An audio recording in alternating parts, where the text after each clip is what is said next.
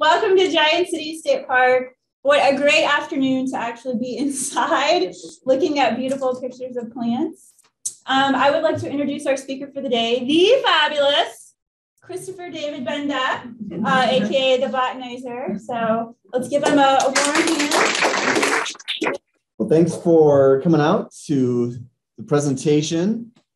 I'm trying to enter the 21st century here with uh, getting some of the Zoom link uh, live presentation option, and I'm going to record this as well, and I'll put it on my YouTube channel later. So if you want to watch it again or share it with someone else, it'll be available there. So I was um, giving four programs a year for Giant City pre-pandemic, and this is my first in-person presentation here since, uh, of course, that event that has changed all of our lives. So I'm happy to be back. So we, we, we skipped the 2020 uh, Best of Nature, but we're, we're back on a roll now. So that's great. And I also want to mention that um, actually 2019 was the last year that I did this presentation. And that was my best year botanically, professionally, until this year, I would say. So 2020 was a little bit of a light year anyway, and this year has been amazing. And so I have a lot of ex- excellent things that I want to share with you all. So, as you probably know, my name is Chris Benda, and I have a lot of former and current affiliations with various uh, organizations and agencies throughout Illinois.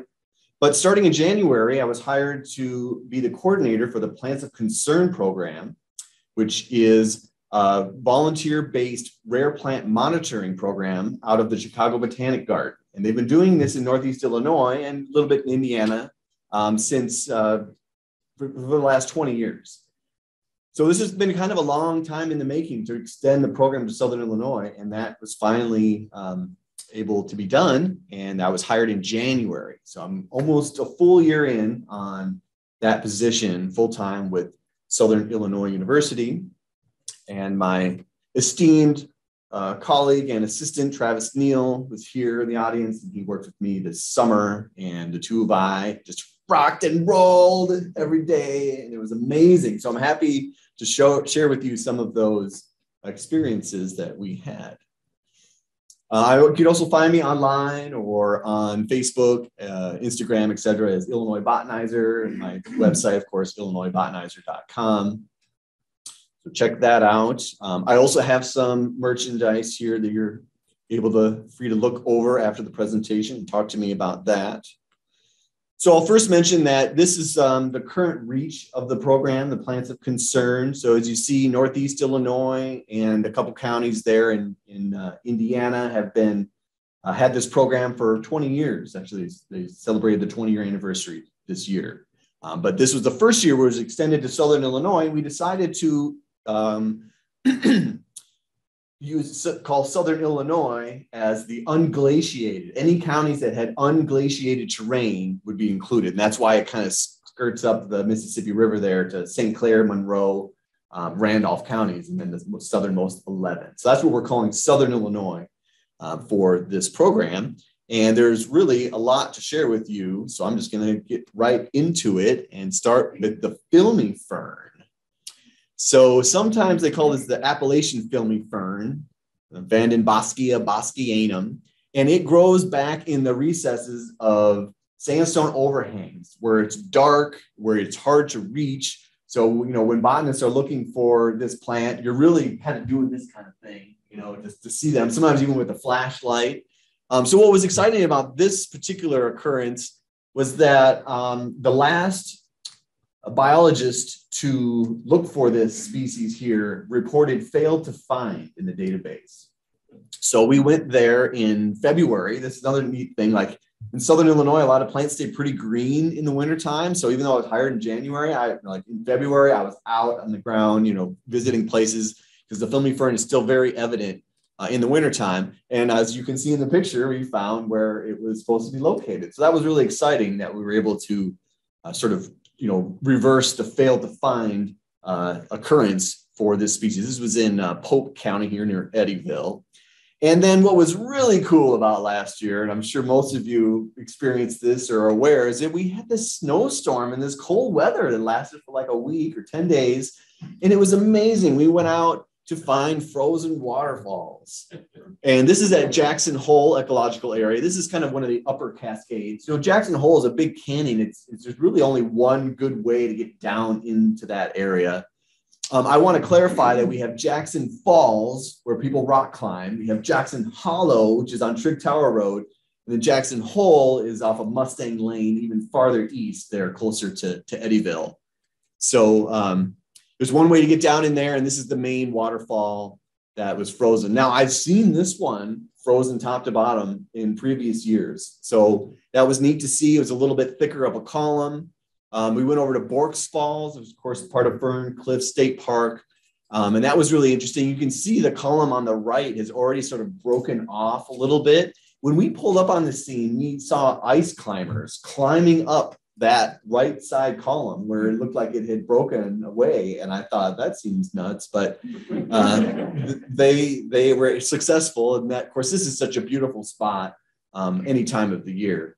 But what was really exciting about the frozen waterfalls what i have been wanting to see for 10 years or more was Pakentuck at camp Ondessonk so they have a picture in their visitor center in their in their lodge that shows this scene of a, a, frozen column of ice and the waterfall. This is the tallest waterfall in Illinois. So it's about 93 feet or so.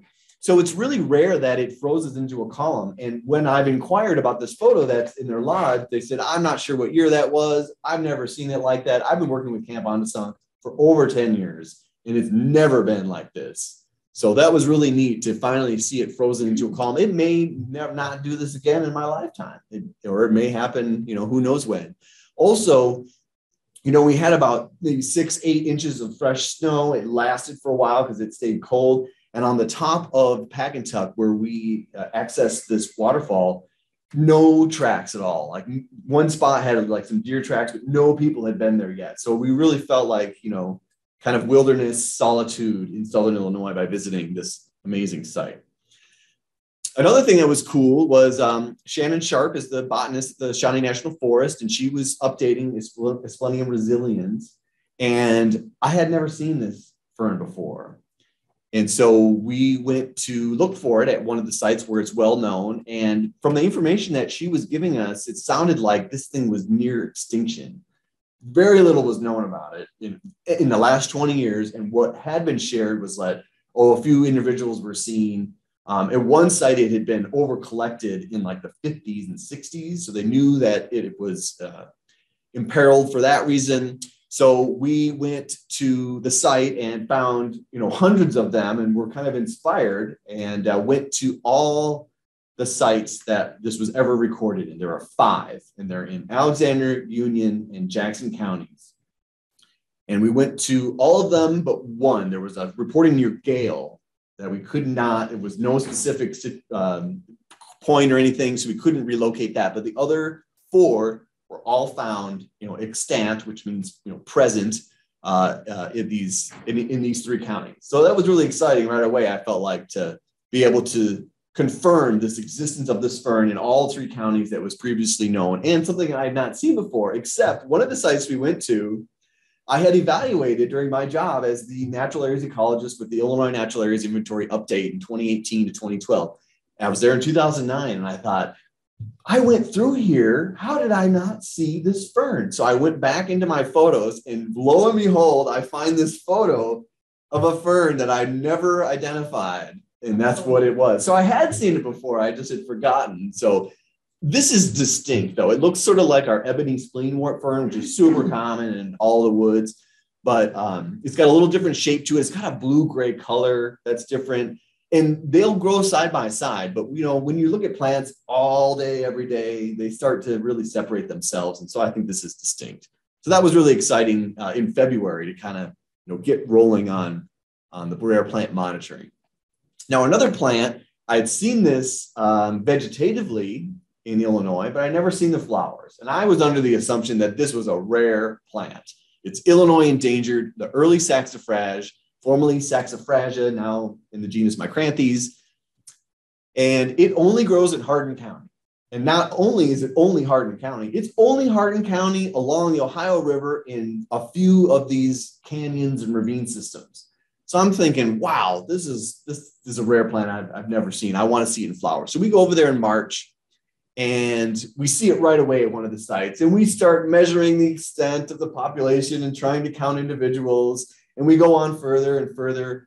It was everywhere literally all the exposed sandstone. I thought there's no way we can count this. We can't measure this. You know we can document where it is but hundreds and thousands. I went to uh, the area of sturgeon hill battery rock which is where the river to river trail formerly was you know the trailhead I counted or estimated 28,000 plants. I mean, it was all over the place. So uh, Travis and I were came up with this hashtag not rare, uh, saying that we were we, we were uh, using because it seemed like it was some of these plants that I've never seen before that are endangered are actually not super rare. So this is kind of an example of what I saw. Anywhere there was exposed sandstone, there was loads of flowering saxifrage there. Absolutely amazing. So that was really cool to see. Now, another plant that's not very common in our area or in Illinois, frankly, is leatherwood, Dirca palustris. And so this is a species that may actually be, get on the endangered species list uh, as threatened at some point. But when it blooms in early April, late March, it's very conspicuous. And the name leatherwood comes from the fact that the twigs are really bendy. You, I joke and say you could tie your shoes with a twig of leatherwood. In fact, um, what was exciting is that this site, uh, the, the state forester um, was working with the landowner on his management plan. And he said, I got this shrub that you can just bend and it doesn't break. And what is it? And here that became the Johnson County record for this particular shrub um, in Illinois. And he had hundreds in his woods, all blooming. I've never seen anything like that in Illinois really, really amazing. And they're cute little um, yellow flowers. Now, there's other things about this species that make it conspicuous other times of year to identify, but when it's in flower, it's just so obvious. And so we ended up going to all of the Dirca spots um, in Southern Illinois and finding it extant.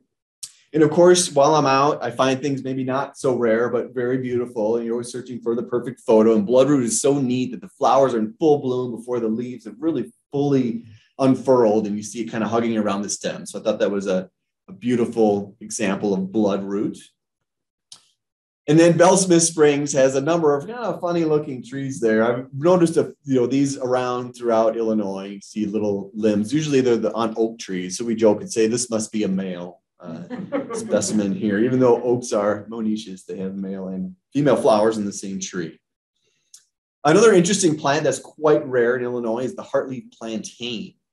And what's kind of fun about this one, like a number of rare plants in Illinois, is they have really common and even sometimes what we would call weedy counterparts, right? The common plantain is a lawn weed. Um, and it grows in sidewalk cracks and you know all the kinds of stuff. But this is a rare one that has cordate or heart-shaped leaf base called the heartleaf plantain, and it grows in the stream in clear, rocky, undisturbed streams where are those, right? I mean, a lot of our streams have been impacted by extreme flooding, erosion. Um, you know, if there's a, you know, horseback riding, sometimes they love to go through creeks. So there's a lot of threats to this particular species. But I think there were eight or nine locations I went to and found it at most of them. Uh, and only at like three sites were there more than, a, were there a few hundred or more. Most of them are pretty, pretty few. So another plant, now this is interesting too, that pennywort, Obolaria virginica, the Greek coin was an obol. That's why the name Obolaria relates to pennywort. It's got these round leaves. This is in the gentian family. And it's a small little plant that's kind of hard to see. And um, there are a number of things in Illinois that I feel like I felt were rare when I was not doing intensive botanical inventories, when I was just out and about noticing plants that I would see hiking and whatever. And I felt like God, pennywort seems to be rare. But if you go and really intensely survey a lot of places and you're looking and recording everything, you start to realize things that you thought were rare are actually not all that rare. And this totally fits that category. Um, this one is, is pretty widespread in the forest. It's just, it's hard to find, hard to see.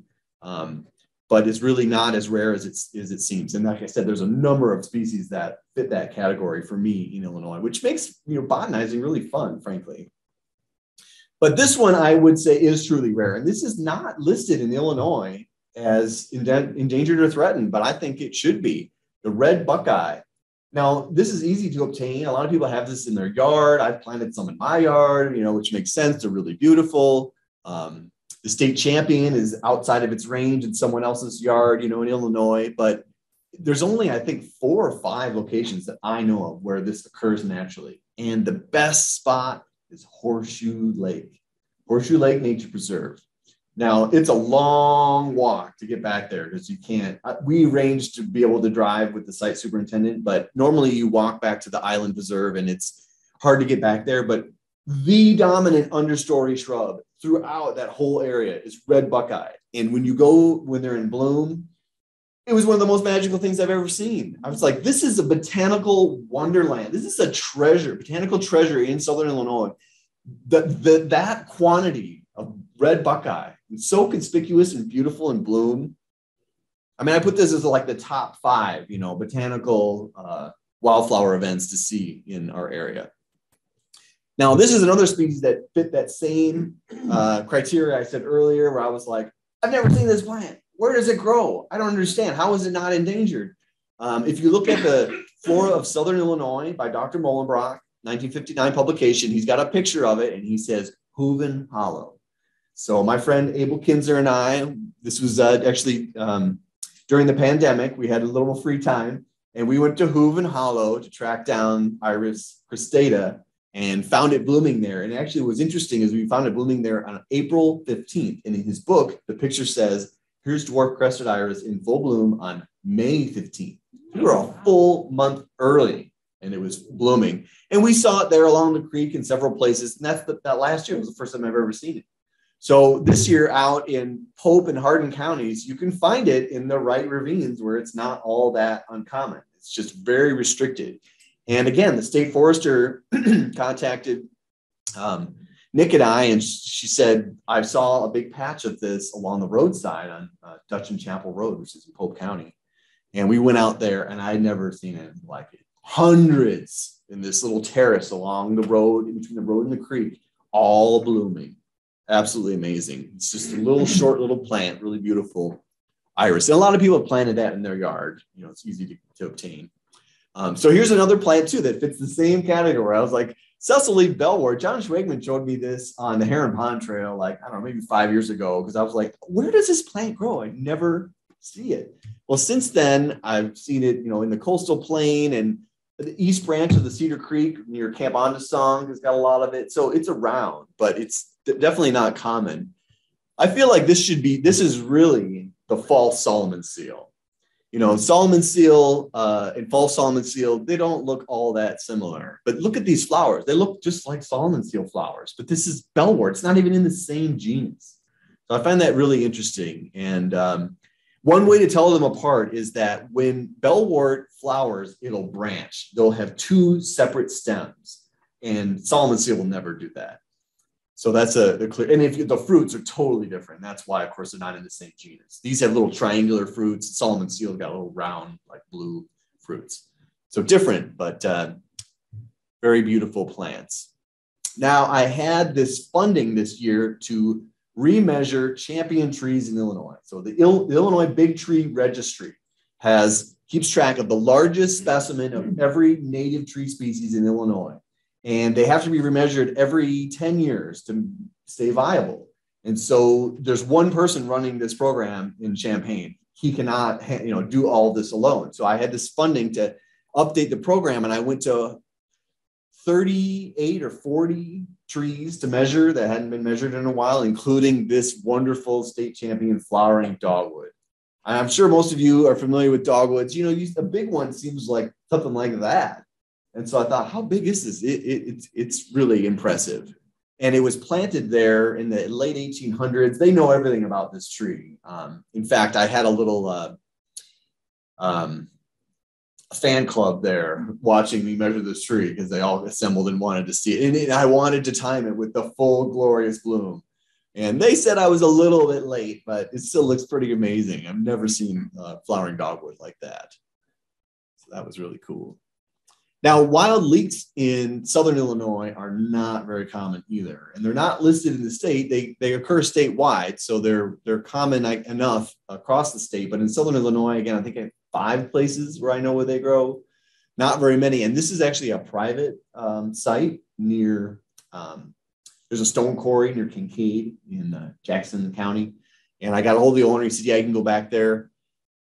It was carpet I mean, it was wildly carpet. I've never seen anything like that. You know, if you've been to Little Grand Canyon, you know, a little bit grows there in a kind of a dense spot. Uh, Fountain Bluff, there's some, um, another private spot that I know of, but this was literally everywhere. And I thought, wow, this is so amazing. And in there was alternate leaf dogwood, uh, the leatherwood I mentioned earlier, um, and a bunch of other rarities. And I thought this should be a nature preserve.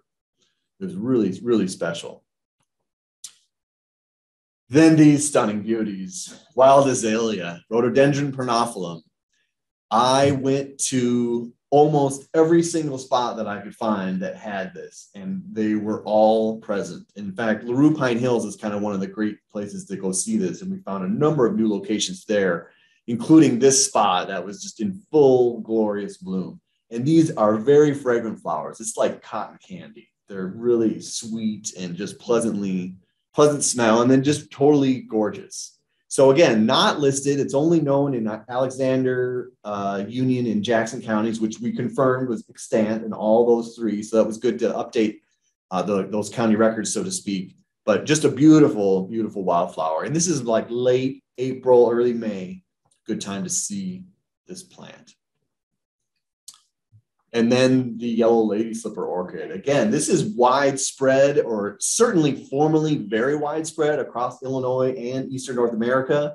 But because of you know deer browse, habitat destruction, poaching, and other things, it's been really uh, affecting the population sizes. So I was trying to get an idea of how rare are these exactly. So again, I went to every site that I had found or had heard about or knew about. I think there were about a dozen or so and we found them at every single one. This, you know, a lot of orchids are picky and that they don't always bloom every year. They don't come back in the same place, but they're perennial plants. And this one, this is the one that seems to reliably show up every year. It may not flower every year, but it, it usually will grow and, and be conspicuous.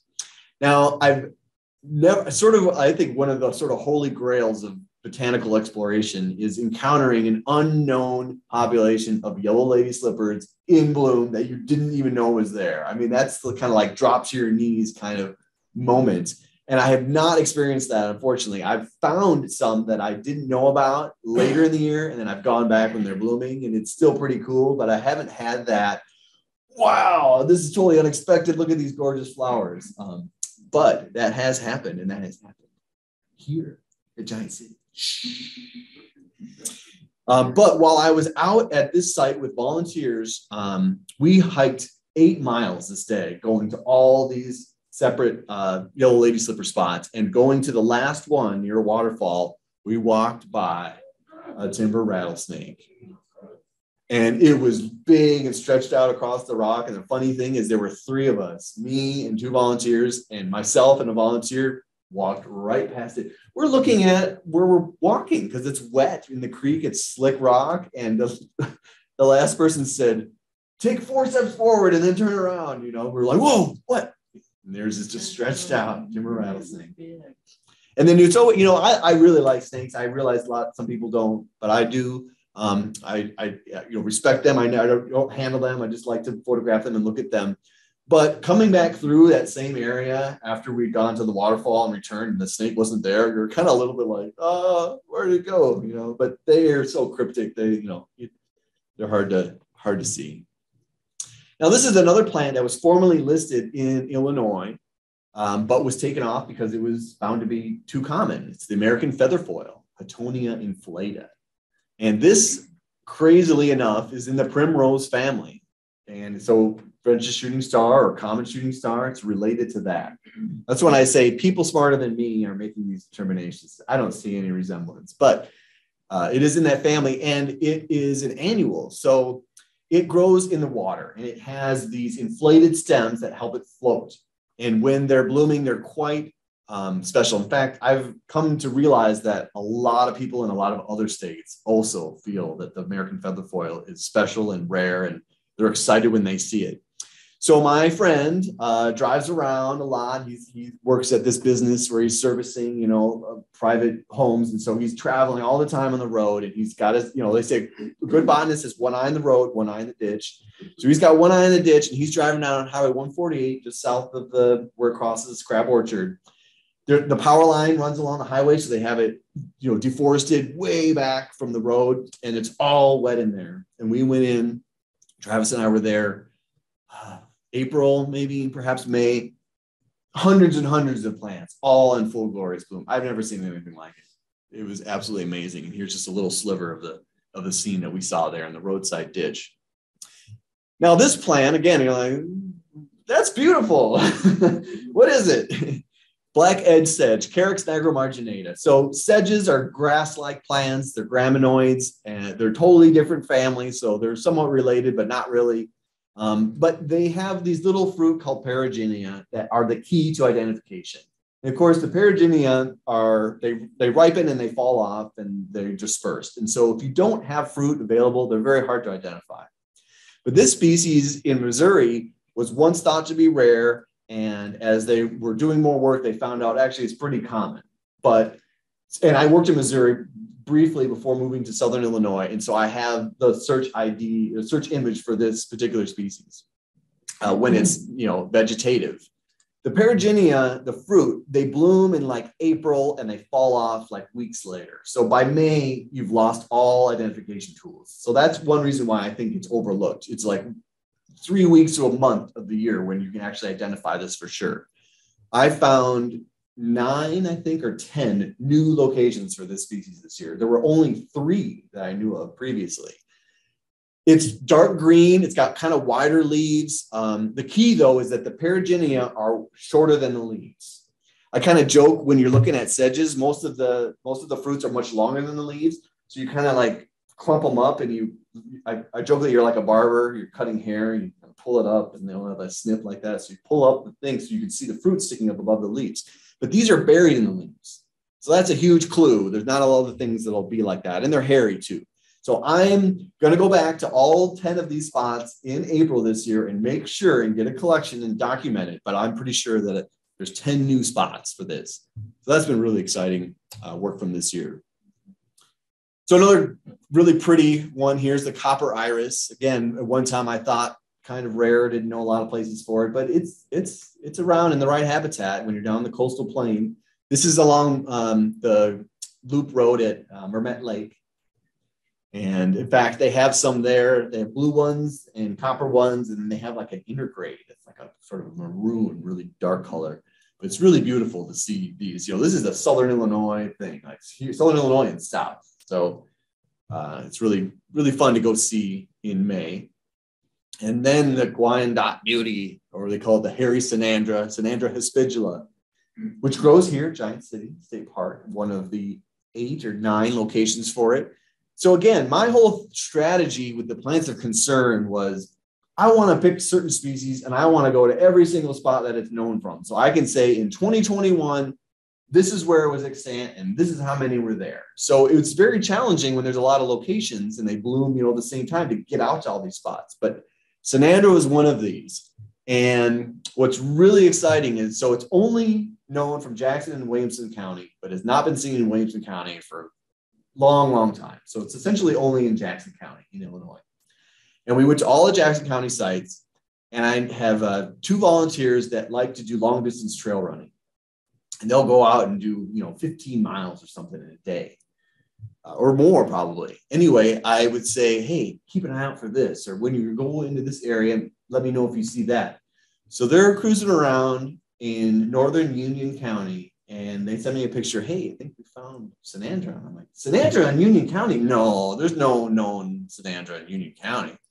So I go out there. This is IDNR land. I go out to look, and it's like the hardest, farthest to reach spot from the nearest parking lot and this is what I see. I counted 800 blooming plants, county record, unknown population of this plant, which is so rare in Illinois. Um, so that was just like, you know, batter up, he hits it out of the park kind of thing. Which is, there were so many of those this year, just really stunning. Plus, just look at this photo. Oh, they're so gorgeous. And there's a little kind of up close photo. This is in the mint family. It's mint. Yeah. Now, another cool, I know I say this on every slide, but really, this has been a tremendous, tremendous year. Uh, green trillium, also known here, Giant City State Park, not common at all. And in fact, uh, a couple of the places where I know it occurs, there's not a lot of it. So one of them is um, a little east of here, and it's private land. In fact, this is kind of a fun story. Jen uh, contacted me a few years ago, and she said, "I got somebody came in here and said she's got green trillium on her property." And I said, mm, "No, I'm skeptical." You know, so she's, uh, you get a photo. Okay, she gets a photo, sent, text it to me. I'm like, "Whoa, that's it for sure." So I go out to her property and I count it, and so I knew they were there. So we went out and we, and we counted on her land and the adjacent landowner, and there were like a hundred or so blooming. So that and here are the only two spots that I knew where it was extant. So then I talked to my friend, uh, Robert Rothrock, and he said, you know, 20 years ago, I was working for this guy and I, I saw it along the creek there. Pretty sure, you know, you should go check it out. So we go out there, it's nearby where this other private land was. we counted 300 blooming plants along this creek that apparently you know nobody knew was there previously. So I thought, oh my gosh, that's amazing. So then I started looking at the map and I'm like, so this, and this was the same creek system. So the one that I knew about was up here. We went downstream to the next one, and I see there's a tributary running into the same system. And I think, I wonder if it's growing along that. And it happened to be public land. Great. I don't have to, you know, get permission. I can just go. So I go with a volunteer into that spot. We count another few hundred. So we doubled the number of known populations for this species um, this this last year. So that's been really exciting. There are records of this in places farther north that I haven't investigated, but as far as southern Illinois, there's four spots now, um, and you know less than a thousand plants, and they're so pretty. Some of them were like two feet tall too. It was really amazing.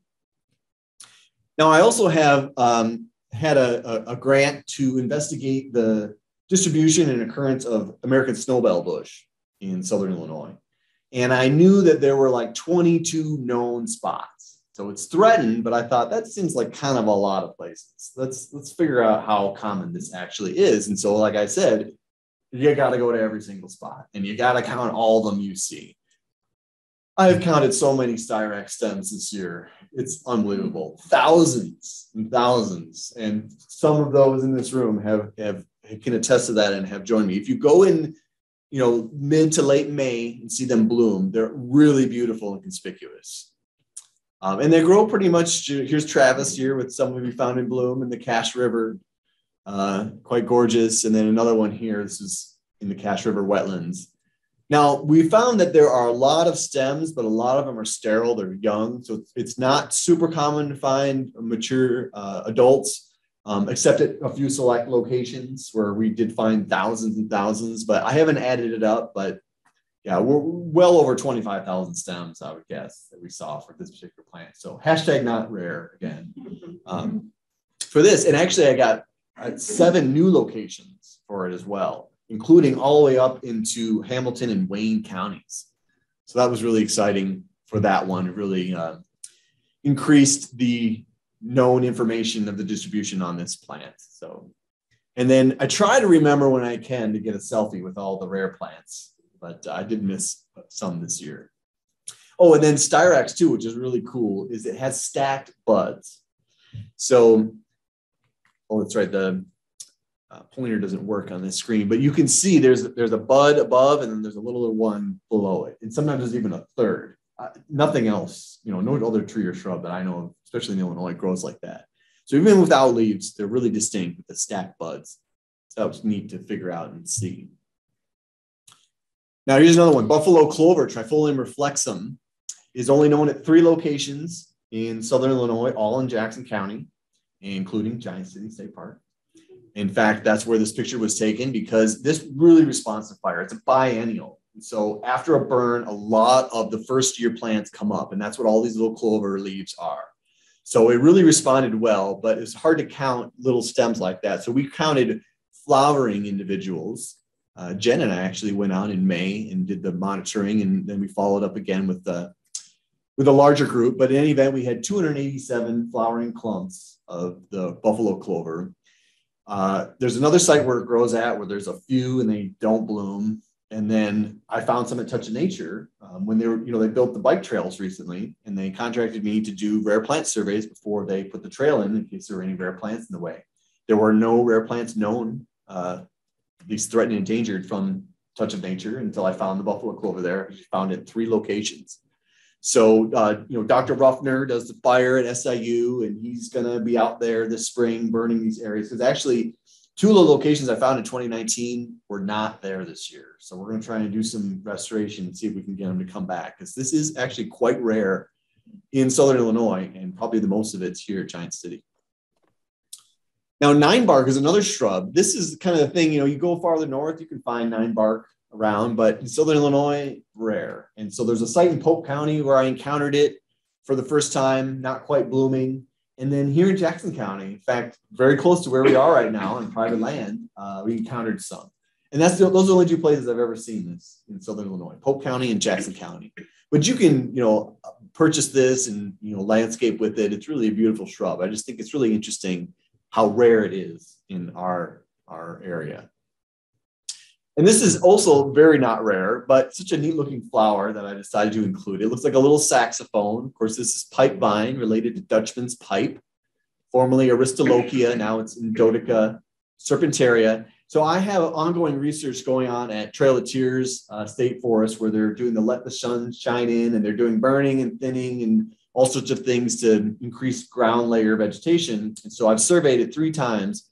The most common plant is poison ivy.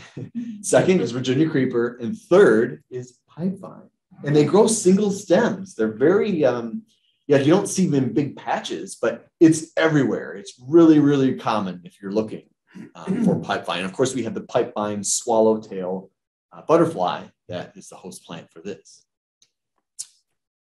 Uh, this was kind of neat too. Again, my friend drives around everywhere. He said, "Oh, there's green flowered milkweed on Route 13, right? You know where that Huck's is um, in Camp uh, Carterville, like right there. And this is this is not doesn't have much of a distribution in Illinois either. It's mostly just north of Southern Illinois. You call it like South Central, the Illinois Till Plain, like um, Perry County and across to the east. So not this far south, but here it is in guess it was Williamson County, maybe Jackson. I think it was Williamson. But any event, that was really neat to see it along the road. And actually, Travis went out and wanted to photograph it and saw the mowers coming down the lane and was trying to contact the road commissioner and this and that and had his uh, girlfriend come out and help with their sister. He's like, I gotta go, but like, we need to make sure these don't get mowed. And the mowers were cool. They said, Hey, can you not mow these? And they were like, Right on. So they mowed around them. That's cool. Um, so they were allowed to flower and presumably set seed, but not common. You don't see this one really around here very much. Fults Hill Prairie, up in Monroe, you can see that. Now I'm cheating a little bit here. I took this picture in Indiana. This is in the Indiana, Indiana dunes, but it's so awesome. I just felt like I had to include it. Um, this is the Pink Lady Slipper Orchid. We used to have these in Illinois, up in like Lake County, LaSalle County, I think, a few counties, but they haven't. They're they're considered extirpated now. They haven't been seen in the wild in a long time. But they're beautiful, and it was worth including that one. There's another picture there. It was funny. We were at this site. We kind of had special access because they have a gate, and we were there after hours. But my friend was like, "Don't worry, I can swing by and get the key. I'll take you there." I'm photographing like one little pink lady slipper, and he's like, "Just wait, just wait." and then, of course, we come across the full patch of them.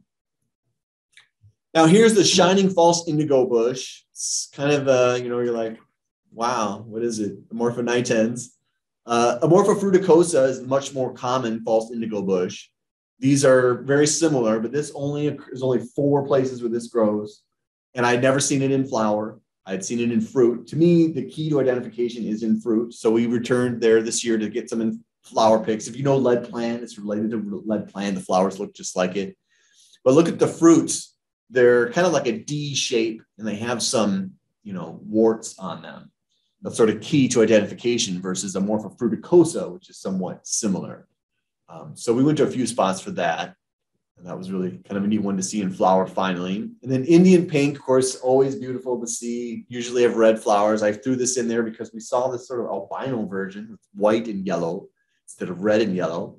You know, a lot of the flower wildflowers that have colors often do pr- produce a white form, so it's not that unusual. But I had not seen white Indian pink before, so that was kind of kind of neat to see. And then right next to it was the purple milkweed. Again, not super uncommon, but I liked the photo because it has the monarch caterpillar there in the background.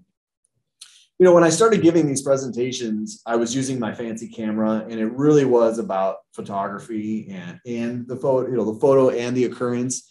But it's just too easy now to take photos with your cell phone. So not all the photos are the most amazing photo. I'm talking more about the occurrence than the spectacular photography. Um, but really, iPhones do do quite amazing work. So I used to use that almost exclusively these days.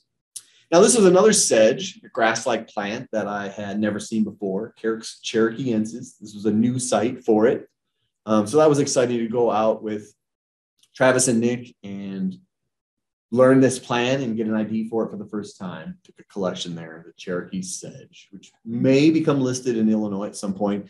See, the thing that's going on in Southern Illinois that's kind of cool is the, the shouldn't say that's cool, climate change, but the implication of climate change in Southern Illinois is that we're at the northern edge of the range for species that are more common farther south. So as our climate warms, those species are moving north. And so our rare plants are becoming more common to some extent because of the changing climate. Now in Northern Illinois, the same thing is happening. Things that are rare there are disappearing because they're also um, moving farther north with climate change. But in Southern Illinois, we may actually benefit in that regard. Um, here's another spleenwort fern, Asplenium. This is the Bradley spleenwort fern. And we were actually going to the another species at this site and stumbled upon, upon a new location for this. And that actually became a theme for the summer.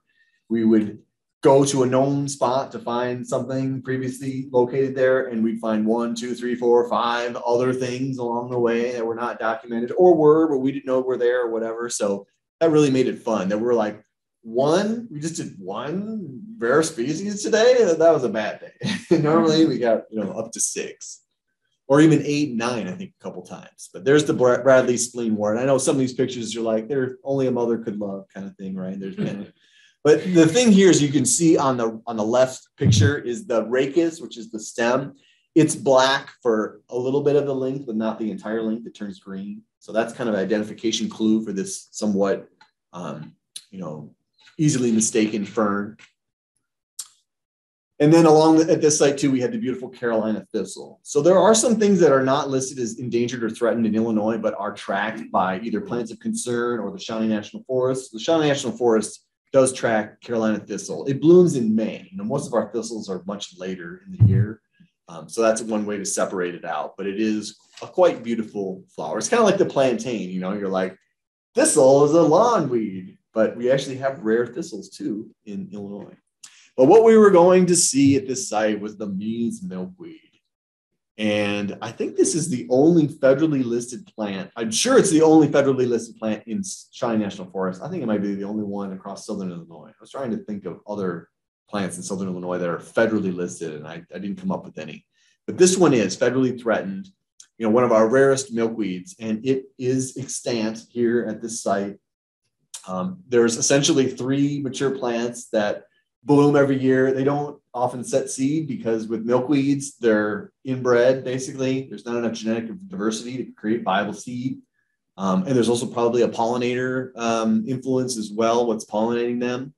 Um, so that's a limiting thing because they've actually supplemented a lot of new individuals and they just, they die or they don't fruit or really flower either. So this is really, really rare in our region. Now, another one here. This was um, this is actually kind of exciting uh, at Pleasant Valley Hill Prairies, which they're not hill prairies; they're limestone glades. But Pleasant Valley, it's um, north of Eddyville in Pope County, and I also have research going on there um, where we're looking at the vegetation response to thinning and burning. And this showed up this year. I've been there, you know, studying it for several years, and I've never seen the shrubby sundrops there, the Oenothera fruticosa in full bloom. So that was exciting to see something something new show up in response to the restoration efforts there. And actually, Carex nigromarginata we found here as well. So uh, another rare plant due um, in response to the restoration. Now, I showed the timber rattlesnake earlier, venomous snake. We have three species that are venomous in southern Illinois. Here's another, the cottonmouth. We did find, you know, cottonmouths are pretty common if you're in the right habitat. If you're where they live, they're not hard to find by any means, but they're very restricted to the southernmost part of Illinois where we have our coastal plain swamps. But there is the cottonmouth, and I have a something a little something later of that too. So as I mentioned, I didn't do as much travel this year, partly because I took a full-time job in Southern Illinois, so that kept me local. Um, but also with the pandemic and things, I wasn't doing as many programs and workshops and travel.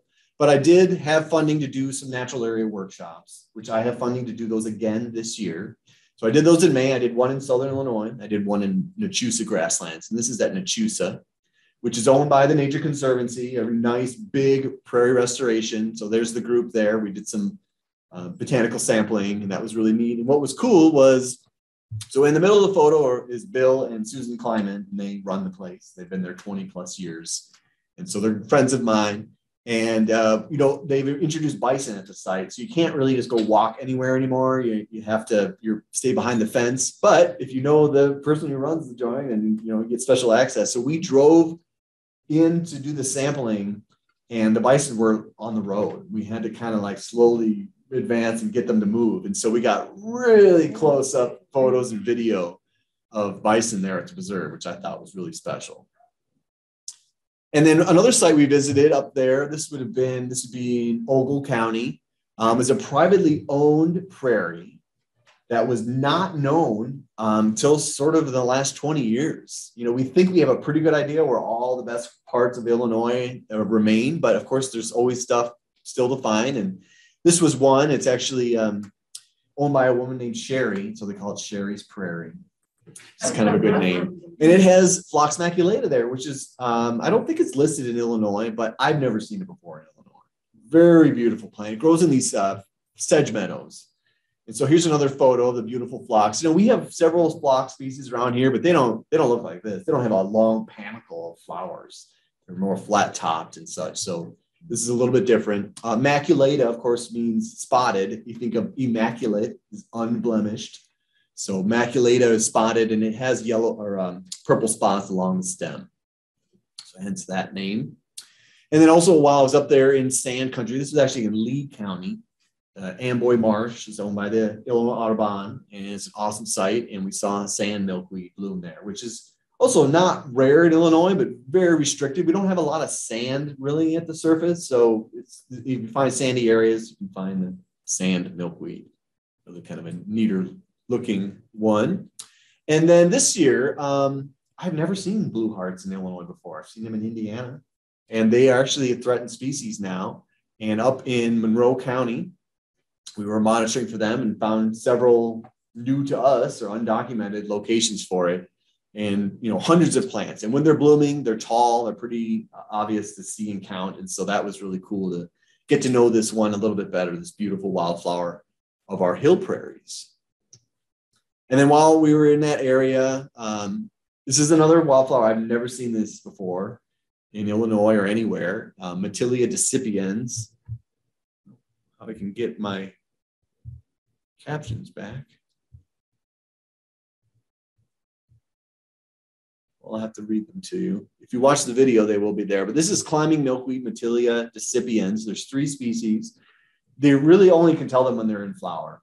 And what you see is that the petals are a little wider and they kind of get wider as they extend their length, where obliqua is a similar one and it has, you know, the opposite. But we went to 10 spots that were documented. Five of them were erroneous, and then five of them were confirmed. So we have five confirmed locations for this and less than 50 flowering individuals per location. So to me, that's rare. That's truly endangered species, uh, the Matelea decipiens. And so the idea with plants of concern is that we will continue year after year, either the staff themselves or more ideally a volunteer will go uh, and see how these do over time. Just gorgeous, gorgeous. A vine, really beautiful vine. Now, another plant, I've never seen this before in my life. And I knew where it grew, but I just never made it out there. Uh, Chris Evans, actually, and John Van Dyke found this um, in 2013. And I went to a lot of the other sites that I knew for this, and there weren't there at any of them. So as far as I'm aware, this is there's only one place for this. Um, this is related to rattlesnake master. It's Eryngium prostratum, and they're small. I don't know if you could tell with my hand there. They're really little blue flowers, and it's really kind of neat to see. And just one spot left in Illinois, so truly rare indeed. And then I wanted to show a picture of the hill prairie. So what's cool is I haven't spent a lot of time in Monroe County. It's probably about an hour and a half from here to get to Fults Hill Prairie. So that's a, that's far. Um, so I haven't spent a ton of time up there, but I think we made six or seven trips up there through the season. And this is at one of the hill prairies in that region. Very steep, very steep and hard to manage. But here's Travis out in the hill prairie botanizing. So we saw a lot of neat things there. We took a volunteer to help us count and I kind of like this photo. He's looking at a plant there. And of course, down in the bottoms of the Mississippi River Valley, you can see what's happened to the nature there. It's all farmland. But the hill prairies are perched up high above. They're steep. You know, they're tough to, to graze. They're tough to do anything with, which is why they have persisted. And all along that bluff road and that bluff corridor, you can see high quality hill prairies present. And one of the rare plants that grows there, Monroe County is like a whole nother world. You get species there we don't have down here are really that common in the rest of Illinois, including this uh, slender heliotrope. Heliotropium tenellum is this one. And it's this little tiny plant. And you look there and you think, oh, I think I see like a dozen. But when you start to pin flag each one individually, we counted like 600. I mean, they're way more there than it looks like. And again, this is something I thought was really, really rare. And it is kind of in its distribution, but there's a lot of plants that persist there. Now, this one here, grass-leaved lily, Stenanthium uh, gramineum. I have never seen flowering in Illinois before. And again, we went to all the known locations and found it at almost all of them. Uh, there are a few we didn't, but very excitingly, the same volunteers that told me about the Synandra in Union County were hiking here at Giant City State Park. And in fact, they didn't uh, inform me. They put it on. Uh, I administer the Illinois Botany group on Facebook, and they put it on the Illinois Botany and said, "What is this plant?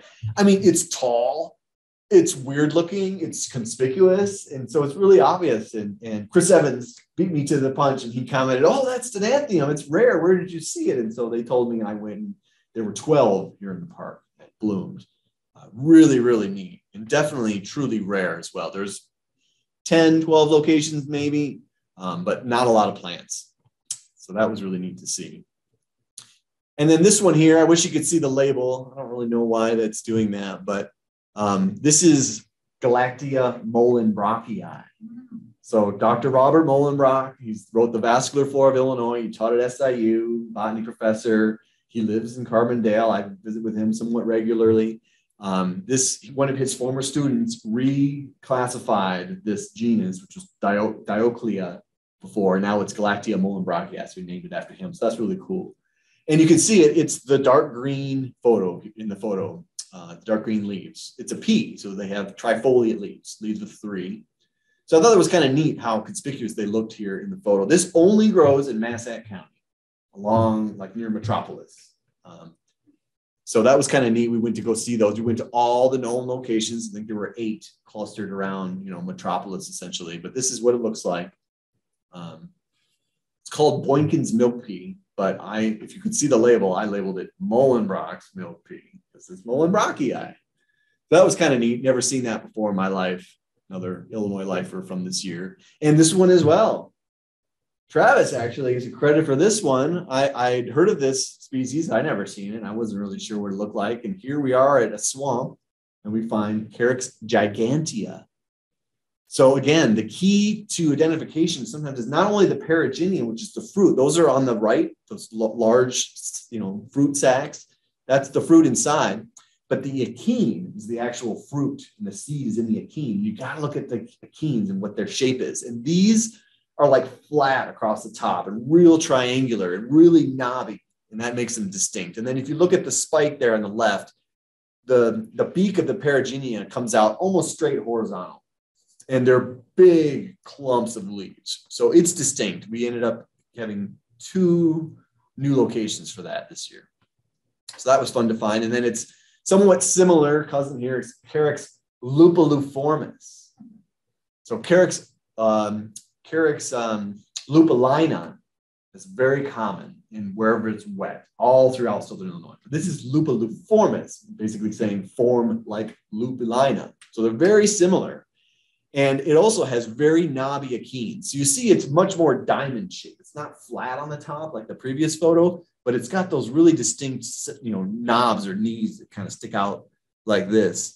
But lupulina can be varying in its knobbiness. And so a lot of the specimens that were turned in labeled lupuliformis, the expert went through and annotated and said, no, most of these are actually lupulina. So we've learned that it's actually quite rare or we don't know because a lot of the previous specimens were mis-ID'd.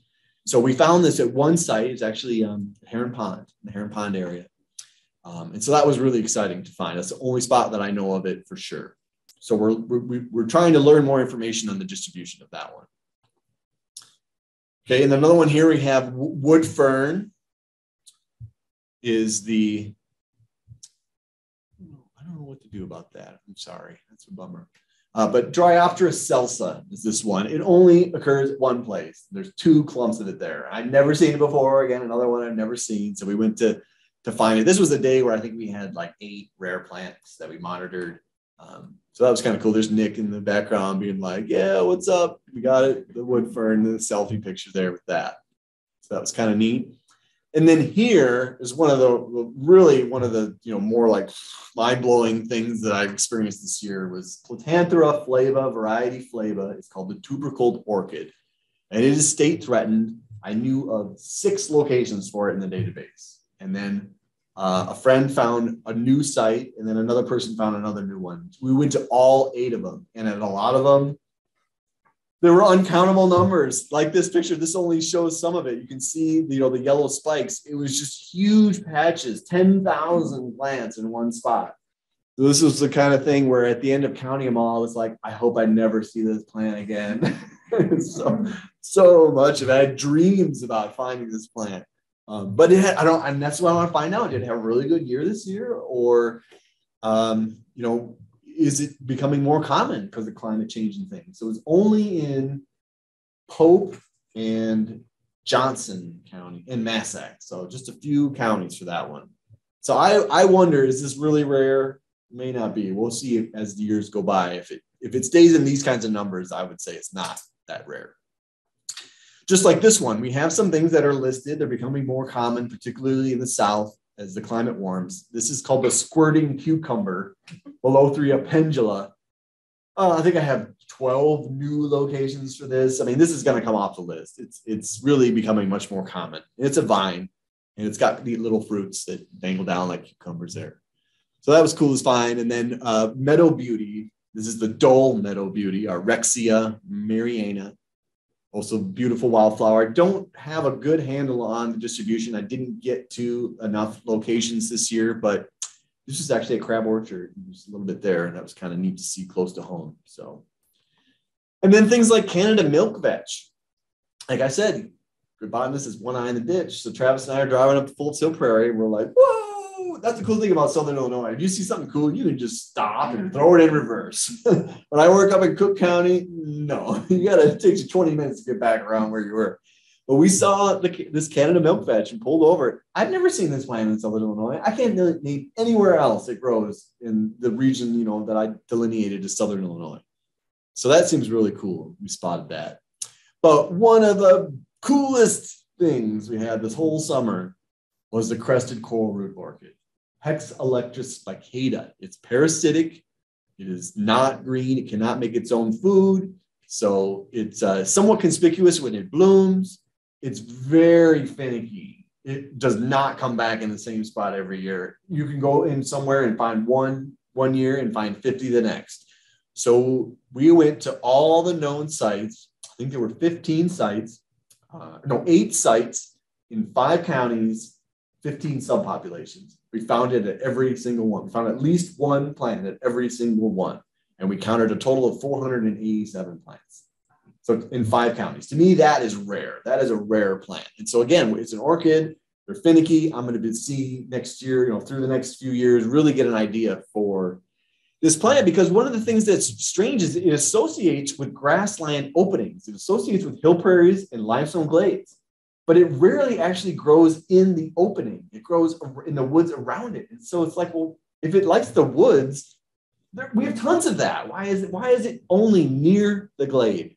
And at one of the sites, they had burned the woods, and it's the, the, the canopy is so dense that once they burn all the leaves, it was literally bare ground with a few green plants, but mostly bare ground. And then we counted over a hundred of these blooming. I mean, you could in that kind of uh, circumstance, you could see them from you know 100 feet away. You're like, whoa, there's some over there. So that was really, really cool. And there, I just think they're really gorgeous. And see a nice clump of like eight of them or so blooming, it was really special. So that was fun. I'm definitely going to write up a paper about the occurrence of that uh, in uh, you know all the known places here in Southern Illinois. Oh my gosh, I keep repeating myself. This was another like super cool thing that happened this summer. I also had a grant to look at the distribution of kidney leaf mud plantain, Heteranthera reniformis. Reniformis, like renal, like kidney, it's a kidney leaf. This is an annual, it grows mud plantain, it grows in shallow mud pools. And I'd never seen this before. And I actually found a new location in Pope County last year vegetatively. And I thought, can I be confident this is it? You know, I don't know. They has really kidney shaped leaves. Um, actually, the expert confirmed it for me, but I went back this year and saw them in flower. But the interesting thing about this is, so seeing them in flower, they have white flowers. They're small. They have a little green, yellow throat to them. They're distinct for sure from because they're similar species that are not as rare. Anyway, there were five known spots. I went to all of them, or somebody went to, you know, almost all of them, or best we could, and they weren't at any of them. But I found four new locations three in Pope County and one in Alexander. If we didn't find any new locations this year, we would have said this plant's gone as far as we know. It's not at any previously known location. So, not only that, it grows in so where I found it, three the three places in Pope County were rutted out by ATVs. They were they were holding mud and water created by an ATV, and that's where this Illinois endangered plant is growing. Really cool. But in Alexander County, we went in looking for something else, and it was along this uh, oxbow swamp where when the you know later in the year this year was kind of dry towards the end of the year and the water levels recede so it, it, it it wants sunlight, totally open, and exposed mud. This is the scene on the on the left there. I mean, all around this wetland, thousands, you can't count this many stems or plants, just thousands and thousands, and you see them again in bloom. So it was just like, wow, no idea. Uh, you know, learning more about this species distribution in Illinois. So we confirmed it extant in Alexander and Pope. There's old records for Union, haven't found any in Union County yet. Um, but another survey we came across this fern called we call Goldie's fern, Dryopteris goldieana. Also kind of cool. If you know the common uh, marginal shield fern, Dryopteris marginalis, it's somewhat similar, but marginalis, as the name implies, has the sori along the margins or the edge of the leaf. These are not. These are definitely close to the mid vein. So that makes it different. It's also about this tall. It's a big frond. Um, and I've not seen this very much in Southern Illinois. I've seen it at Rocky Bluff, and this is in Pope County. And that's the only two places I can think of. So that was kind of neat to stumble upon. And then the Clematis crispa, beautiful flower. Again, one that I thought there were like 12 plants, and we went to one site and counted over 100 of them. So they didn't seem as rare as uh, what they, you know, I thought they were at one time, but beautiful wildflower and kind of some interesting looking fruits there on the clematis. That was Alexander County only for that one. And then since I was talking about mud plantains, um, this is the most common mud plantain we have, Heteranthera limosa. And what's really cool about it is you can see it can have white or blue flowers to it. And these were growing pretty much side by side. Um, and so you see the leaf there. It's not kidney shaped. It's not heart shaped leaf base. So it has a little different leaf. Um, but that's just a beautiful little mud plantain. And these bloom in the morning. You got to go out and see them by mid afternoon. They're they're not blooming anymore. And these flowers are probably about like, you know, an inch maybe, where the the previous one was, you know, maybe a quarter of an inch. So these are much bigger flowers. Now, another cool thing was the hydrolea. It's kind of hard to see here, but there are blue flowers all throughout this plant. It's, it's also um, an annual. And I'd only seen it at one place. In fact, I was the discoverer, turned in that location in the Cache River wetlands. So we returned with the volunteer, and you see Travis here with the plant. Again, like uncountable numbers. There are, we ended up going to four locations for it, found them at all of them, but that's it. In fact, one of them was on private land. That was kind of exciting. So Jackson, Johnson, Pope, and Pulaski.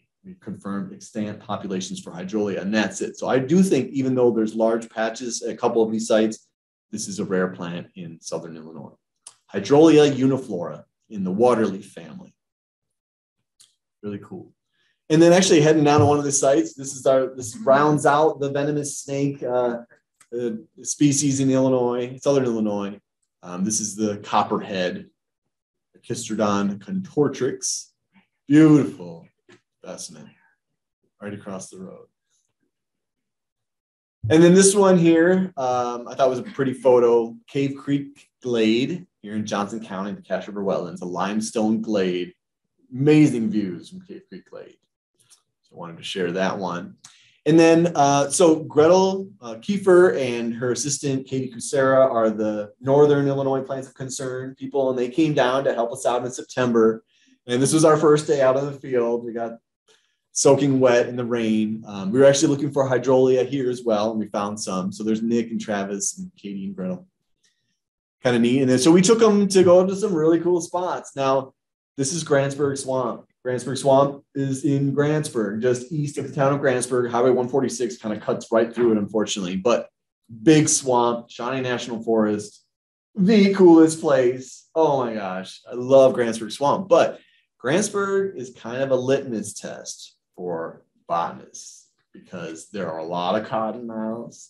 Mm. There, the terrain is very challenging. It's very beautiful, but it's very wet a lot of our swamps don't get really more than knee deep, or you can avoid where it's deeper. But here, you got to be ready to get wet. So you see kind of the scene here. There's trees falling over. Sometimes what looks like just a little channel of water can actually be really deep. Um, so it's really slow going. In fact, Dr. Mohlenbrock told me it took him five graduate students before someone would do the flora of Grantsburg Swamp because they'd go in and see the cottonmouth and say, I'm out of here. And I think we saw five or six this day in fact, one really big one right on a log, and you're looking at it and think that's really neat. And then it slithered into the water, and you're standing in the water, and you're kind of like, where did it go? But you know, snakes don't want to mess with humans. They they're going. You just go the other way. So I'm gonna head out this way. So I don't think there's too much worry there. But Mark Basinger, who did the um, uh, surveys here for the Shawnee National Forest, said he was here one time and he was standing there, and Jody Shimp was with him, and he said, "Mark, don't look down, don't move. And of course, what does he do? Looks down, and there a cottonmouth had surfaced in between his legs in the water. He was like, "I'm out of here." but Grantsburg is really, really cool, um, and you can see the cypress here. The, the white parts here are actually a gall. There's a several insects that uh, make galls on cypress trees, and they kind of they look like. Often people say flowers. The cypress trees are flowering. Of course, cypress are conifers; they don't produce flowers, so that wouldn't make sense, but they they do have these structures on them that make them look neat. And then also really cool is um, this. If you could read the label, says great white lettuce and Nabalus uh, crepidinus, crepidinius.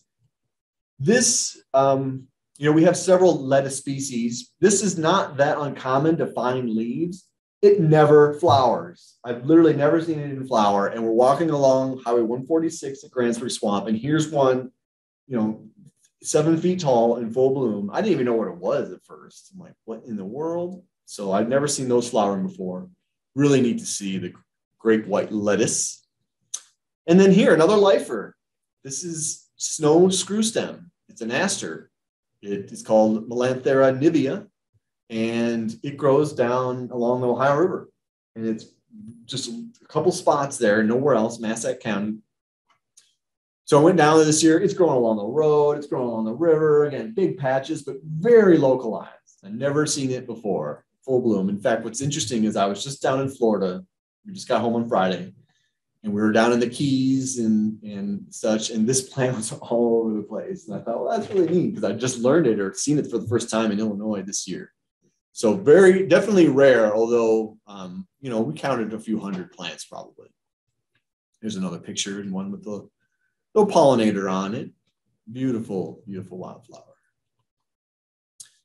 And this one here is called Lady's Eardrops. I was asking my wife last night, what, what's an eardrop? Earring? I don't know, I guess. But anyway, this is in the um, the uh, Polygonaceae, which is the um, smartweed family. And this is southern sixth of Illinois only, and only in the coastal plain. And it's fairly uh, common throughout. We went to a lot of swamp sites. This is like the dominant plant, but only in extreme southern part of Illinois. And I think the flowers are pretty neat. So I threw that in the mix, and then we saw these two eastern box turtles. The, the, the male on the top there is clearly saying, "Excuse me, you mind?" As they're uh, hanging out there. Uh, and then I wanted to show this picture of Carex intumescens and Carex grayi. These were all from the Grantsburg Swamp Day where we were with the, the people from up north. You see on the left side, that's Carex intumescens, the perigynia. You can see that the base is very round, not hairy. And then you look at the one on the right, that's Carex grayi, which is super common. And it's got hairy perigynia and it's got more of a club shaped um, or sort of wedge shaped tapered look to it. So this is only interesting in the sense that they look kind of similar together. And this was an epiphany that I had uh, this day where I'm like, wow, the grayi is hairy and the other one's not. That makes it really simple. So I thought it was interesting to conclude the differences there on those two similar ones. I should also say, because Carex intumescens is state threatened, and it's another one that's becoming much more common. And as we learn more about it, it will probably come off the list. And that's one that I'm hoping to work on next year. And then while we were in the swamp, um, encountered this gorgeous caterpillar, which is the banded sphinx moth. Not only had I not seen this colorful caterpillar before, but I had never seen the plant it was on before which my friend tipped me off to the previous week and had sent me a photo from Mermet Lake and said, Hey, you've seen this? Uh, Ludwigia leptocarpa is the hairy primrose willow. And I said, I, No, I don't know. I haven't seen that.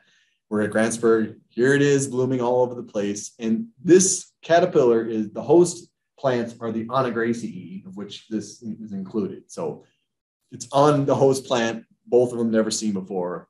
Very showy, very neat. So that was cool in that, that area. Now, here we have an animal, an insect called a lichen grasshopper. And lichen grasshoppers are very camouflaged, as the name implies. Has anybody spotted the yet there? I'm going to show you here with a little red circle. It's right there. And a little larger photo so you can actually see the grasshopper. So typically you don't see them when they're not moving. You, you walk through and they fly and then you see where they land and try to get a photo. So they're really neat little critters to find out in these sandstone glades, lichen grasshoppers.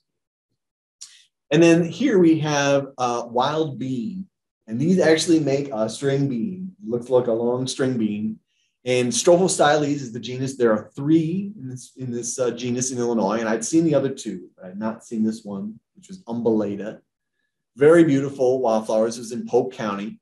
And here is the difference between this and the more common uh, Strophostyles helvola, and it's the calyx lobe. So right here, that calyx lobe is half as long as the tube. So very sort of inconspicuous minor feature, but that I wanted to show you is what you clue in on to um, accurately identify this species, the wild bean. In, in that same area, we're going into these seep springs, acid seeps. You know, in most of Illinois, we have calcareous seeps, which means they're alkaline, they're basic in pH. But in Southern Illinois, we have acidic seeps. And in a lot of them, they're a little wet, we get the screw stem, Bartonia paniculata. And that's what this little plant is. Um, if you've ever seen uh, pine weed, Hypericum gentianoides, you think gentianoides, what's a what's gentian like with the pine weed? Well, this is it. This is in the gentian family, and it's saying it looks like Bartonia. It should be Bartonioides, I think. But what, in any event, uh, this is a little inconspicuous flowering plant. And what you want to see, there's there's two species, and this one is the more rare one, and it has alternate leaves. So you kind of see there's a leaf at the top of my finger, and the next one's on the other side of the stem a little bit lower. And if you look at the ridges of the stem, see how it kind of curls a little bit, curves. That's the screw stem part. It actually is a curved stem. So just a little inconspicuous plant, but well, we counted like 300 in this spot. Um, so that was really kind of kind of neat to see. It's a plant at first where you're like, I don't see any, and then you're like, oh, there's one, oh, there's one, oh, there's another one. so it makes it fun to find. Now this I had never seen before either. This is uh, Eupatorium hyssopifolium, I believe only known from Pope County. And we were in there with a few people, and this was a known location, so I got a picture. Well, then the next week, we were at another site nearby, and uh, Travis and I found more. And it was not known from that site. And I took a picture, I put it on iNaturalist. And someone who is um, knew more about this than me basically said, I think it's actually Eupatorium torreyanum which is formerly a subspecies of Hyssopifolium, which is not known from Illinois. Now, I don't have a collection, but that could possibly be a state record then. State records for native species are really hard to get. We really, really know what is growing in Illinois. So that is like another the holy holy grail of botanists. We want to find something that's native that has not been documented in the state before, and this could be it. So we'll follow up with that next year and see. Of course, you know the white snake root um, which is super common. This is, you know, related to that, the eupatoriums. Joe Pyeweed used to be in that genus, so common group. Now here's another really fun find we had this year. It's called nut rush. Anything with the name rush is probably not a true rush. a lot of things are sedges that are called rushes. So nut rushes are sedges. They should be called nut sedges. But in any event, they have these achenes that are really conspicuous. They're white and they're hard. And so we went to uh, a site with Jody Shimp where he had found Scleria oligantha in 1994 when he was doing his thesis. And that was new to the state.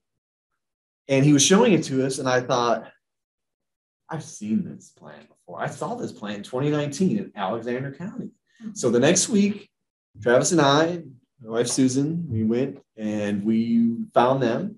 And that was it a, county record for this rare plant. And I thought, did I misidentify it when I was there in 2019? How, how did I, why was this not on my radar? So I Google Scleria oligantha and look at the images. And near the top of the list is a picture on my website that I took labeled Scleria oligantha. And I thought, how did I forget about this? Well, in Mohlenbrock's Flora, he lists this as occasional throughout the state. And that is wrong. It only was known in Pope County. So when I had seen it and identified it, I didn't think of it as rare. So I was like, okay, here's another obscure graminoid that I learned for the first time, throw it on the website and move on with your life. So I totally forgot about it. And I realized, wow, this is a county record. This is only the second place where this species grows in Illinois. Um, so that was neat to identify and confirm. And if you look at the, the collar of the achene, you can see it look like kind of little teeth, little tubercles around the, the collar. That is distinct for this one because somewhat similar. And, and also the thing here is that the the achene is smooth, it's shiny and smooth. It's not pitted, it's not dimpled or or papillose, it's smooth. So this is a similar one, Scleria triglomerata. It's also smooth, but look at the collar on that. That doesn't look like it doesn't have tubercles. It's totally different. So it's that is the way to tell these two, you know, similar species apart. And so if we look at the drawing here from the Flora of Missouri, you can see a nice drawing there of the two, the triglomerata on the left and the oligantha on the right. So here's triglomerata picture with the drawing, looks good. And then oligantha here looks good. So that was really neat to, to see for the first time or get to know these two. In fact, there are only five sclerias in Illinois. Um, and we saw another one, and then Travis went up north and saw another one, and then there's one that's that's left we didn't see. But here's maidenhair spleenwort fern, one I've always liked to see. Don't confuse it with maidenhair fern. It's maidenhair spleenwort fern. Not all that rare, but fun. And then this one here is the sedum, formerly sedum. Um, it looks like what people have in their garden, kind of a lot, but this is a rare one. It Only grows on cliffs in Pope County and Hardin County. And there was a lot of it at the site. This is sort of near Garden of the Gods. So that was fun to see a lot of that. And then we have a club moss. There's two species in Illinois, Huperzia, and this is the rare one called the cliff club moss. Um, it grows at Little Grand Canyon and Camp on and you know other places. But what you really need to look at at this one is you look at the leaves. And for this one that's more rare, the porophila, the cliff club moss, um, the leaves are widest at the base and they taper and they don't have any teeth. So lucidula is somewhat similar, but it actually gets wider as it goes towards the tip, and you can see little teeth if you look really closely. So this was fun. We went I'm still working on this. This stays green all year round. So I pushed some stuff off for this winter, so I still have things to do, and um, we'll go after some more locations for that. But while we were in at this site, we found this gentian, which is the bottle gentian. This is actually the soapwort gentian, which we learned in a fun way um, but also not common in Southern Illinois. This is a northern species. There's only a few places like Lost Creek and Faulkner Tract, and just a few spots to find this. And so that was fun to see the beautiful gentian that's rare in this part. And at the same site, also, first time I've seen Ilex verticillata, winterberry, in Southern Illinois. It's a little shrub. It's actually kind of interesting. We saw a few plants on our way in, and I was like, I don't know what that is. I can't I can't put a name on it. I don't know. And I have to tell you, I've been botanizing in Southern Illinois for like 12 years. It's pretty rare for me to look at something and just like not know at all what it is. But then we found mature ones with fruit, and I was like, oh, that's what that was, a winterberry. So that's neat to, to see finally in our region. And then, oh, kind of a bummer pick here. I had to, you know, show you the realities. Sometimes we also see some really weird stuff, some messed up stuff going on. This is down in near Tamms, along a drainage, and the landowner just cleared all the trees along the edge of this, the the creek, and of course, all that's just going to erode into the creek, and it was really kind of sad to see. And there's rare plants. That's why we were here looking for rare plants. So there's rare plants nearby, and the land there's kind of been messed up. But in the swamps there, you can see, get the video, cottonmouths. And of course, they do the little mouth opening as a defense posture. So I kind of had to move towards him to get him to do it a couple times. But in my experience, you leave them alone, they leave you alone. So it's kind of neat to see the little video. Now, again, in the Seep Springs in southern Pope and Massac counties, you can find some neat things like white turtle head. Now, up north, you can find white turtlehead in every fen wetland. It's common. But down here, this is the only place I've ever seen it. Um, we have the pink turtlehead, which is a little bit more common, but still pretty rare. But the white ones in Southern Illinois, I've never seen before blooming. So we happen to get that. But again, unfortunately, at this site, the, the natural area it goes a little bit onto private land. The private land has switched hands a few times, and the current landowner is logging it heavily. And they, you know, when they log, they only take the trunk, they cut the top and they let it fall. So all the tops were dropped into the seep, into the high quality area. And so there are a number of rare plants here. And this was one of the nicest seeps we had prior to this destruction. So it'd be interesting to see what happens. And preliminary, preliminary results don't look good. And on the way out of this site, we happened, oh, yeah, I guess a couple more yet. We went on from here to another natural area and we found another scleria, the nut rush. But look at this one, it's got bumps all over it, it's not smooth. So that's Scleria pauciflora, um, which is Illinois endangered, and one that we're going to look into as being perhaps more common than you thought. But see, it's got the little tubercles at the at the collar, like oligantha, but it's not smooth. It's got bumps all over it. But this is the picture I wanted to say. This is what met us at our car when we walked through. Now we had permission. We inquired to make sure it was a county road and that the landowner knew we were going to be through there. Um, but he still called the police on us. And the cop, the, this guy was cool, luckily, and you know he let us go. We, we told him, we showed him our tracks on our phone. You know, hey, we didn't trespass, and he was like, okay, you're good. Um, but that was sort of an interesting uh, event. In fact, this guy was from Olive Branch. He drove over to, I mean, we were in Pope County. He drove over an hour to come over and mess around with this. But in my experience, if you work for a government agency and you're working with a landowner, they're going to do whatever you want. They really like that, like try to make sure the landowner relations are all you know cool and they want to please the landowner for better or worse, you know, depending on the situation. But he was cool. Nothing resulted from that, so we moved on. Uh, but here's another really rare plant. Again, only known in Hardin County. We really need to get a bunch of botanists to go to Hardin County and hit it hard. And I think we could find more. Um, so there are six locations for this oval-leaved catchfly, Silene ovata. So we have the Silene stellata, starry campion, which is somewhat similar and very common. Uh, but this one only in Hardin County, six sites, but a new one was found this year, and there were a few hundred there. So I had seen it before, but I didn't have a good picture in flower, and so I was able to get some some nice photos here of this very rare plant, one county only in Illinois. In fact, it's not very common throughout its whole range. So that's kind of neat. And then again, back to the Styrax. Oh, this is because we went up to Kankakee County. Styrax americana, I told you I was doing all the known locations. And if you look at the range map here, it's, you know, it's a southern species and it's a few sites in southern Illinois and then all the way up in Kankakee County at the Momence wetlands. So we were able to find a few there. They didn't look like they were doing very well, but we did find some. You can see they're also across the border in Indiana. Um, but also in this spot, we found Mikania scandens, which is climbing hempweed. Again, distribution, it's a southern species. But there it is up in you know northwest Indiana and Kankakee County. Of course, this is the great, you know, the great marsh, the Kankakee Sands area, formerly at least. Um, and then swamp cottonwood is another one. These are all southern swamp species that are making their range extension all the way up into Kankakee County in Illinois. So those were fun to see and to document. And while we were up there, we went to a savanna in Kankakee County, privately owned.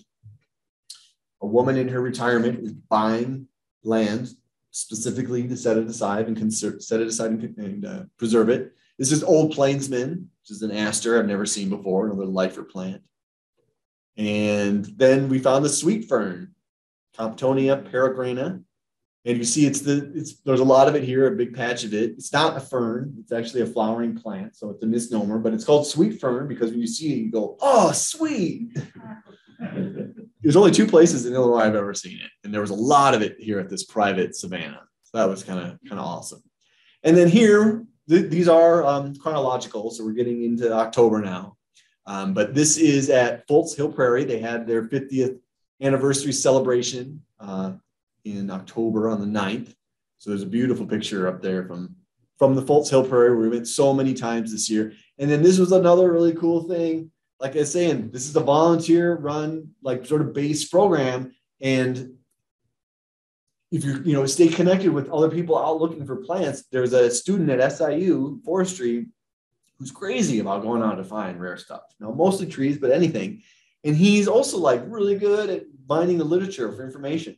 So he found this report that said this plant, which is called striped wintergreen, was growing um, at this site, and he went out and found it. Now, I've been I've never seen this in Illinois. It's actually pretty common in like Georgia and stuff. I've never seen it in Illinois. I assumed it was gone and he documented it as extant in Gallatin County. So Travis and I went out there to find it. There's another picture, and it actually had fruit on it. So it had blooms here, blooms in June. We were there in October. So that was really cool. I would have assumed we don't have this anymore, but you know, it was tipped off by a volunteer friend, went out and found it. So that was super cool. It's, there's got to be more of it out there. We just got to look. And then uh, in my conversations with uh, Dr. Mohlenbrock throughout the season, he let me know that uh, the mayor was doing this, um, you know, stars sort of uh, commemorating people who are from Murphysboro. Um, and so along the main street there, they have a number of these, and he has one. And what's interesting is his daughter has a store there, and it's right in front of her store. And he said that it was not planned at all. It's just coincidence they put it there. But we stopped by um, towards the end of our field season here to get a picture um, with Mohlenbrock's star, star fame. That was neat. Just a few more photos. Uh, this is called white swamp milkweed, which I thought was kind of neat. You know, most milkweeds have cottony fluff on the seeds, so they're wind dispersed, but these grow in the swamp where there's not a lot of wind. So they're actually have a wind seed that's designed or adapted to float on the surface of the water and be spread that way. So I thought that was kind of a neat little photo of the follicles that have opened up there on that. And then I saw this really weird looking bald cypress tree down by Karnak. I can't explain how this limb is joined from one trunk to the other. Uh, but there it is. And so I thought that was really a neat looking um, cypress tree there down near Karnak. And in fact, I have funding to do the big tree updates again this year, and I have like 10 new champions that I found, a lot of them down in the Karnak area. Um, do you know where Big Cypress Access is? That road that goes north south on both sides of that road. Any of it that's not former field is just huge trees in there, huge trees. So there's a number of new champions that are going to come out of that. Now Mohlenbrock told me about this one. This is near Sielbeck Track, which is in uh, Mermet um, in Massac County. This beautiful. Look at the shape of this tree. It's a willow oak, and it's pretty big. I measured the champion willow oak uh, last year. It's in Cobden, clearly planted because that's outside of its range. But this could be a, a naturally occurring tree that's left. So I'm going to see if that's a contender. But it's just beautiful shape on that, that oak tree. And then uh, I try not to get down this uh, conversation too far, but Bell Bowl Prairie is up in Rockford. It's slated for destruction because the airport wants to expand, and there's a whole issue going around. It it's been temporarily saved, but it seems due to imminent destruction. But Nearby was Harlem Hills Nature Preserve, which also has dry gravel prairie. So I went there to visit, never been there before. If you've heard of George Fell, who did our nature preserve system, and we have a biography of his book, he spent his honeymoon camped out here at the site uh, in the 50s. And so that was really cool to finally see that. And then while we were there, we found the stiff aster, which I thought was a neat plant um, that I don't see in this area very much. All right, just a couple more photos. There, I found nature's toilet. Now hanging out in the. if you had an emergency, that actually might make a decent spot to, to take care of that.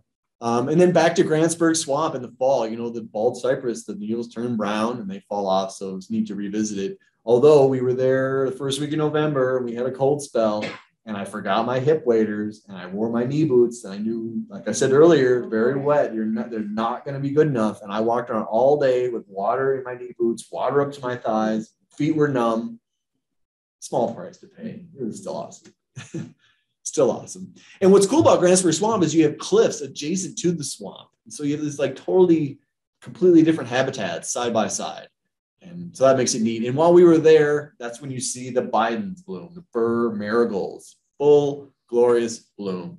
And in fact, um, I've realized through Facebook and uh, talking to other people that this is actually Bidens laevis, not Cernua, which I had assumed, and not a lot is known about this species in Illinois. Clearly would be a county record for that. And I think it's more common than we know. So again, there's like still a lot of botanical questions to be answered here in Southern Illinois. And Nick, we saw this, saw this big tree fall and Nick got under. See, Nick's, he remembered his waders. He's got hip waders on. He stayed dry that day. Me, not so much. And then we found this cool root wad that he's like a little cave that he was able to crawl into on this, uh, I think it's a, a, maple tree there on the edge of the swamp. And then back to Hickory Bottoms for Styrax again. This is a county record. Again, I, was, I, I, am coming, I got three more, I got three more picks. Um, but I want to tell you about this because I had two other people go look for Styrax with, I had a point, a discrete GPS point, and they didn't find it. And I thought, you know, I didn't think anything about, okay, maybe it's gone. So I'm digging into it a little more and I'm like, well, who found this and when? I found it there in 2010 and I turned in the report and I, and I have a picture of the shrub in fruit. And I'm like, there's no way it's still not there. So Travis and I and Catherine went back and Bobby, and, no, Bobby was, yeah, Bobby was that day. And uh, the four of us are looking and we found it. And the significance of that is that this is the only Union County record for this species. So we were able to redocument the Union County Styrax. In Hickory Bottoms, if you're familiar, it's part of the Cypress Creek uh, also, big trees, nice big trees in there, which you know we don't have a lot of anymore, including three champions we visited. This is the uh, shagbark hickory champion. It's co-champion with my shagbark hickory from uh, Trail of Tears State Forest. Um, and then also near Karnak, I've never seen before until this year, water hickory, Carya aquatica. And look at that bark. Isn't that amazing?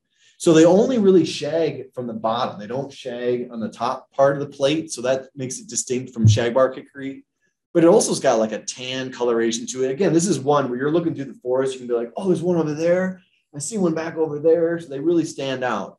Um, and we counted like 80 around Karnak. I, I don't know anywhere else I've seen nowhere. So um, really kind of cool to get an idea on that. So there you have it. Woo! That was a lot of plants, a lot of photos. But um, I hope you enjoyed it. Again, I'll, I'll put the recording on my YouTube channel uh, when I get a chance. And um, otherwise, uh, let me know if you're interested in any merchandise, and I'd be happy to answer any questions you might have. Yes. Where was that large dogwood tree? The large dogwood tree is in a little town called Texaco, which is east of uh, Dix. So high, highway, uh, the Interstate 57, there's an exit there. Um, I forget the name of the cemetery, but it's public. You drive up to it. Yeah, it's not in the greatest shape. It's kind of hollow and it's lost some limbs, um, but it's over 100 years old. Wow. So it's hanging on. They were talking to me about trying to do some cabling and things. So we'll see because it's definitely a, a treasured tree. Really cool.